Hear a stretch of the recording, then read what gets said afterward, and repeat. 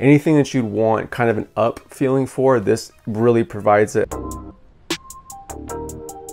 Hey, what's up guys, it's Josh here. Today I want to do a re-review on this AMP Citrate. AMP Citrate is a supplement that I was really blown away with when I first tried it. I said it was pretty much my favorite supplement. I think I had tried it for a few weeks at that point. Eventually, somehow, some way, I stopped taking it every day and I've slowly started to incorporate a little bit more after I've started to retest DMA and DMHA. I was going to do DMHA next after DMA, but for some reason, I was having some weird experiences with it, some bad, some good, and I ended up trying this AMP citrate a lot and I feel like I have a really good pin down opinion on this one so let's jump right into it. It's pretty decently priced. You get 133 servings at 75 milligrams each. I do recommend slightly more than one serving but at the same time you get 133. This is a very exotic supplement so I do think if it is $55 it is worth it. Quick little overview of this. This is kind of like a medium strength stimulant. There is a few stimulants that are stronger than this which are DMA and DMHA definitely stronger than this. Then there are ones that are a lot weaker than this. I would say this is kind of on par with Teacrine, but it's got more of a DMAA style feel, but it's kind of on par with how long Teacrine lasts. I would say this lasts definitely longer than Dynamine, a little bit longer than caffeine, so it's kind of in the middle range. And I think that's kind of why I like this so much and why I recommend this so much. Usually with the energy on this one, I get probably three to four hours of solid energy, maybe up to like five or six.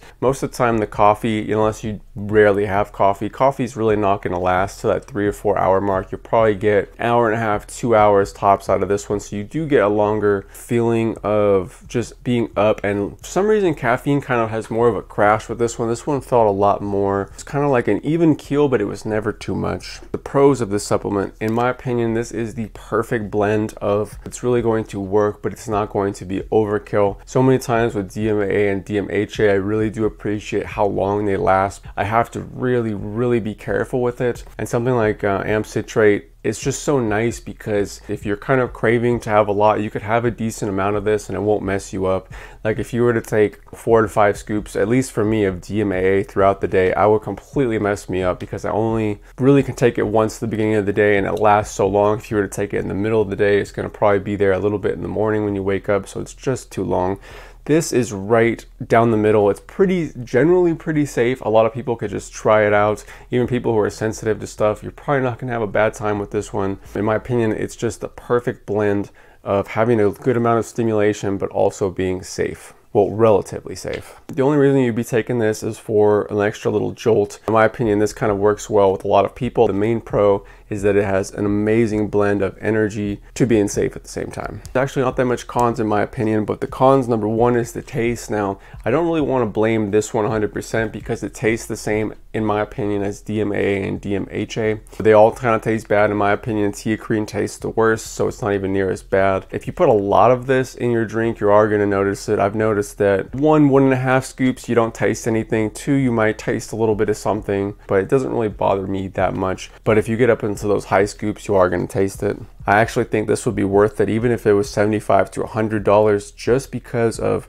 how exotic this is. You can't get anything like this anywhere else. You pretty much only have access to maybe like Yohimbe and caffeine. So exotic, so good, and so worth it. I mean, I think it would almost be worth $100. This is, I believe, $55 for 133 servings. I would recommend everyone start out with one and a half scoops and based on that one and a half scoops, if you want more or less, kind of go from there. Also take it in the beginning of the day. You could probably redose it once in the middle if you want to as well. As far as the price to energy ratio, I would usually go about three to five scoops a day if I'm gonna take this. You are gonna run through the packet a little bit quicker than you would with something like DMA and DMHA. DMA and DMHA, some of them I think are cheaper and stronger, but at the same time, I just like this one so much because it's so likable and so safe. you could recommend this to way more people, probably like five times the more amount of people because of how much problems you get with DMA and DMHA. It's just so much more balanced. If you're looking for the maximum amount of energy for price, I mean, that's got to be DMA or DMHA.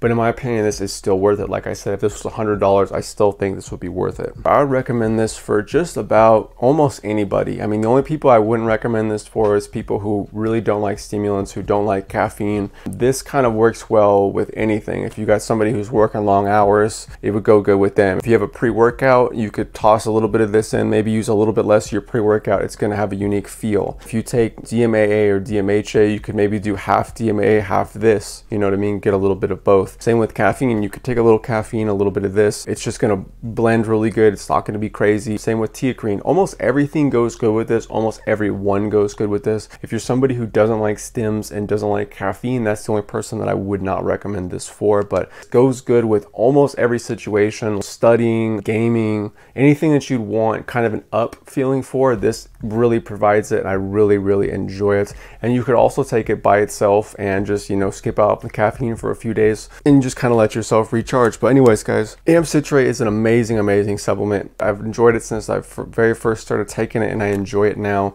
And I recommend it to just about everybody. It's a fantastic supplement if you're looking for any sort of energy boosting effects or focus boosting effects. But anyways, guys, we're on the road to 50,000 subscribers and I couldn't do without any of you guys. Hope you guys are the best. I'm having a great day out here. Hopefully I'm having a great day at home. See you all in the next video. Peace.